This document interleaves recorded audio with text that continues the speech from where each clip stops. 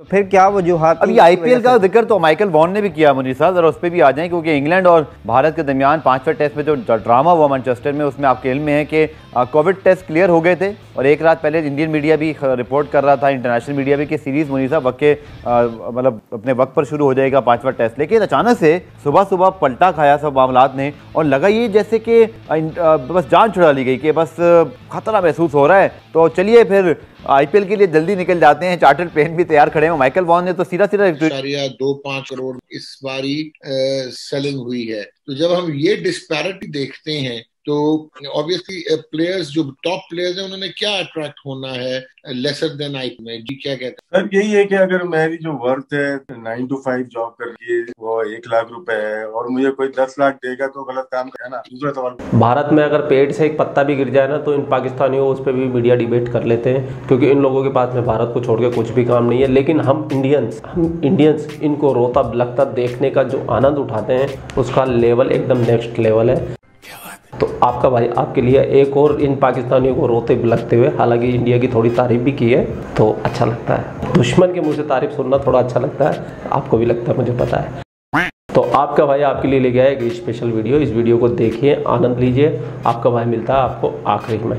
चलिए शुरू करते हैं। की नॉन अवेलेबिलिटी क्या सब नॉन अवेलेबल था ऐसा कैसे हो सकता है कि इस वक्त और तो कोई सीरीज़ ही नहीं हो रही है इस दुनिया में इस वक्त आईपीएल के अलावा। तो फिर क्या वजूहत ये आईपीएल का ज़िक्र तो माइकल वॉन ने भी किया मुनीर साहब जरा उस पर भी आ जाए क्योंकि इंग्लैंड और भारत के दरमियान पाँचवें टेस्ट में जो ड्रामा हुआ मैनचेस्टर में उसमें आपके इल्म में है कि कोविड टेस्ट क्लियर हो गए थे और एक रात पहले इंडियन मीडिया भी रिपोर्ट कर रहा था इंटरनेशनल मीडिया भी कि सीरीज़ मुनीर साहब वक्त के मतलब अपने वक्त पर शुरू हो जाएगा पांचवा टेस्ट लेकिन अचानक से सुबह सुबह पलटा खाया सब मामला ने और लगा ये जैसे कि बस जान छुड़ा ली गई कि बस खतरा महसूस हो रहा है। तो चलिए फिर आईपीएल के लिए जल्दी निकल जाते हैं। चार्टर प्लेन भी तैयार खड़े हैं। माइकल वॉन ने तो सीधा सीधा ट्वीट कर दिया कि मुझे ये ना कहिए कि आईपीएल के अलावा कोई रीजन हो सकता है। और दूसरी जाने इंग्लैंड क्रिकेट बोर्ड पहले फोर फीट लिखता है फिर फोर फीट गायब। और उसके बाद अभी आपने मुझे बताया साहब क्या अपडेट है मुझे टॉम हैरिसन कह रहे हैं। देखिए सबसे पहले तो जब आप इंडियन मीडिया की बात कर रहे थे ना तो दूसरे दिन सुबह तो ये न्यूज़ आई कि शायद पहले दिन खेल नहीं होगा। हो सकता है कि दूसरे दिन दो दिन का डिले दो दिन का एक दिन का उसके बाद शायद ये मैच होना था। लेकिन फिर एकदम से आया फॉरफिट हुआ और फिर फॉरफिट के बाद कैंसिल आ गया। तो अभी तक ये इसका कोई डिसीज़न नहीं है। यानी ये सीरीज़ अभी तक फाइनल नहीं हुई है। भाई इसके कि अब नहीं हो रही बस। आ, ये तो आईपीएल के सब चले गए। और एक ये जो इन दोनों के दरमियान अग्रीमेंट है कि अगले साल शायद एक टेस्ट मैच होगा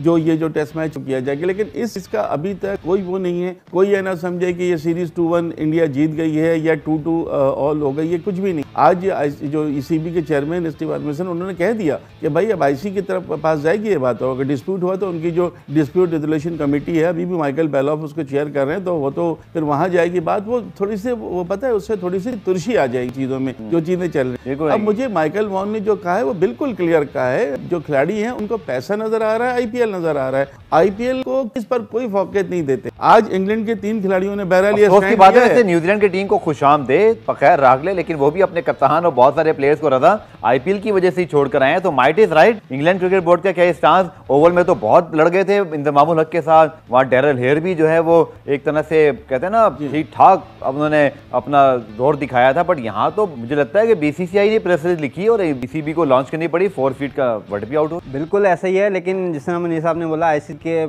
उसमें कमेटी में जाएगा लेकिन मुझे नहीं लगता कि कुछ इसका आउटकम निकले आपको भी अब पता है हम सबको पता है बीसीसीआई कितना पावरफुल तो जो बीसीसीआई आता है वही होता है माइकल वॉन ने भी बोला ज़्यादातर यही इतला देंगे ये जो फेयर था आईपीएल में बाहर ना हो जाए इसी वजह से खिलाड़ियों क्लियर ये था कि टेस्ट में चूँकि क्लियर हो गए थे लेकिन टेस्ट के दौरान तो कहते हैं ना इस वायरस की अलामत दो तीन दिन बाद आती है ऐसा ना हो कि अभी बाहर हो जाए। अभी मतलब बाद में बाहर हो जाए। अभी बाहर हो जाए तो फिर भी टाइम होगा कि आईपीएल खेल सकते हैं। एक ब्रेक में रजा ले लूँ। ब्रेक से जब वापस आते हैं तो फिर हम फर्दर डिस्कशन करते हैं कि क्या आईपीएल के ऊपर वर्ल्ड टी ट्वेंटी भी जो है वो उसको तरजीह दे दी जाती है। बिल्कुल करीब करीब हो रहा है। ये भी बहुत गौरतलब बात है कि सिर्फ़ एक हफ़्ते पहले उन पिचेस के ऊपर जो है वो बाद में कि इंग्लैंड के सबक कप्तान माइकल वॉन बड़ी उनकी जो है वो फॉलोइंग है बड़े अच्छे ब्रॉडकास्ट ये जो सब कुछ इंग्लैंड में हुआ है आपको याद होगा 2006 में था ओवल टेस्ट जी हाँ ओवल टेस्ट ओवल टेस्ट में, में मैंने आपको ज़िक्र किया इसका फोर फ़ीड मैच रील क्या लग रहा है आपको ये इंग्लैंड का मुझे लग रहा है कुछ दास बदल रहा है उनके कुछ प्लेयर्स भी नहीं आ रहे आईपीएल में? हाँ अभी कुछ देर पहले न्यूज़ आई है कि उनके तीन प्लेयर आईपीएल नहीं खेल रहे हैं। उसमें जो टी के नंबर वन प्लेयर हैं डेविड मलान वो भी शामिल हैं जॉनी बेरस्टो भी शामिल हैं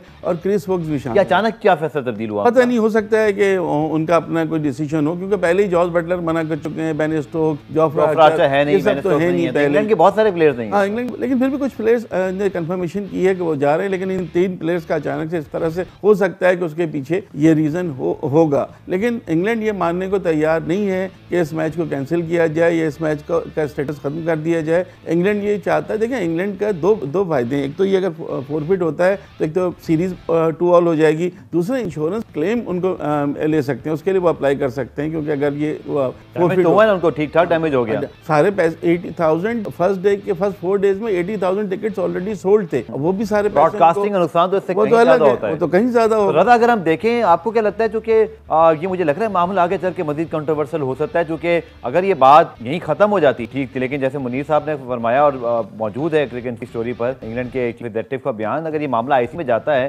तो इसमें दो आते हैं। एक तो आई थिंक वो कोविड की वजह से वर्ल्ड टेस्ट में लिखा हुआ है कोविड की वजह से अगर होता है बट यहाँ तो कोविड था ही नहीं यहाँ तो एवरेज शास्त्री तो पहले ही आइसोलेशन में थे टीम सारी क्लियर थी यहाँ तो फियर है that is for world test championship matches only not for वो जो वर्ल्ड टेस्ट चैंपियनशिप का मैच में तो शामिल है ना ये? शामिल है, ये शामिल है लेकिन ये अप्लाई होता है रूल पे जो कि मोदी साहब ने कहा कि यार कोविड का टेस्ट पॉजिटिव नहीं आया किसी का। किसी खिलाड़ी का नहीं था ना सपोर्ट स्टाफ का था। अच्छा। बीस खिलाड़ियों में से ग्यारह चुन सकते। जी। बिल्कुल बिल्कुल ऐसा ही है लेकिन उनका स्थान जो उनकी बात है वो भी रद्द नहीं की जा सकती उनका ये कहना था कि एक दिन पहले जो था जो उनके फिजियोथेरापिस्ट थे, उनका पॉजिटिव आया बाकी सारे प्लेयर्स के नेगेटिव थे। जो उनका मौक़ था वो ये था कि जो प्लेयर्स हैं, क्योंकि टाइम लेता है इनकोबेशन पीरियड दो से तीन दिन लगते हैं तो उनको ये फेयर था कि खिलाड़ियों में आ सकता है, जो उनका मौके असल वजह ये थी कि उन्होंने इस फेयर के बुनियाद पे खेलने से इनकार किया इंडियन प्लेयर्स लेकिन जो बात आ रही है कि आईपीएल वजह थी उसकी वजह ये थी कि इन खुदा ना खास्ता अगर प्लेयर्स में आ जाता है किसी प्लेयर में आता है तो फिर यूके कानून के मुताबिक उसको 10 दिन वहाँ पे क्वारंटाइन करना होता। अगर 10 दिन क्वारंटाइन करना होता तो फिर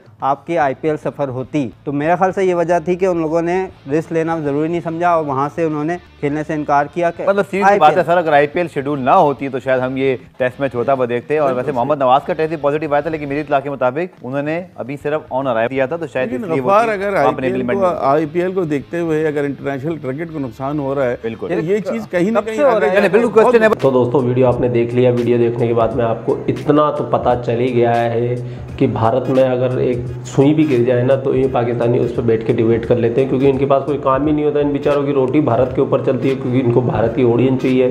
भारत के ऊपर बात करेंगे तो चाहिए। और भारतीय कैसे हैं? हम भारतीय हैं उदार किस्म के लोग। हम, हमारे लिए कोई अगर विनम्रता से हमारी तारीफ़ करे सच्चेपन से तो हम लोग उसको क्षमा कर देते हैं। बहुत सारे लोग कहते हैं कि तुम्हारे पास हिंदुस्तान, पाकिस्तान को छोड़ के कुछ और काम नहीं है। कि भैया, ये भी काम बहुत ज़रूरी है। ये पता होना चाहिए, हमारे पड़ोसी मुल्क, हमारा दुश्मन मुल्क, हमारे बारे में कैसी राय रख रहा है, कैसे विचार रख रहा है। अगर आप मेरी बात से एग्री हो, सहमत हो तो भैया कमेंट कर दो। और आपके भाई ने इस वीडियो को तो रोस्ट बिल्कुल भी किया नहीं है। उसका रीज़न ये है, क्योंकि इसमें रोस्ट करने जैसा कुछ भी नहीं था। इसके लिए आपके भाई ने फेट ही चलने दिया। वैसे भी बहुत सारे लोग मुझे बोलते हैं कि नहीं भैया, सीधा न्यूज़ आने दो आप।